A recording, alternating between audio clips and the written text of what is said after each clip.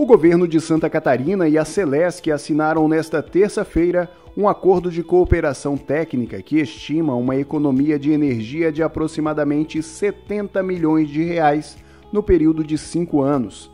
A parceria prevê a troca de experiências na gestão da energia consumida pelos órgãos do Poder Executivo, buscando a eficiência, a redução das despesas do Estado e a possibilidade de desenvolvimento de novos negócios pela Celesc atuando no mercado livre e na implantação de fazendas solares. A melhor forma que nós encontramos de potencializar, de economizar, de modernizar todas as demandas que nós temos.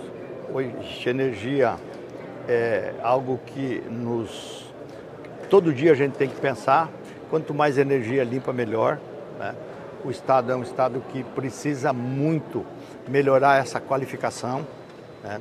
Estamos chamando todas as possibilidades para que a gente dê ao nosso empresário, ao, ao quem necessita de energia, uh, gerenciado pela nossa Celesc, melhores condições. E é um projeto que foi feito e desenvolvido aqui pela empresa, junto com a Secretaria da Administração, junto com os municípios, enfim, para a gente poder, e junto com empresas, para a gente poder fazer isso acontecer.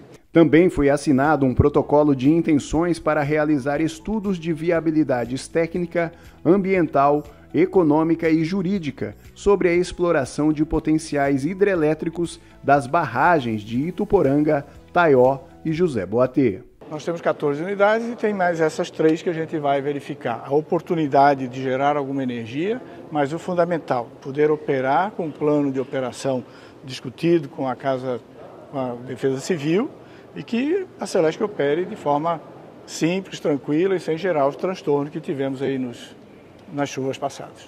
E por fim foi anunciado um edital de 15 milhões de reais para o Programa de Eficiência Energética ANEEL Celesc.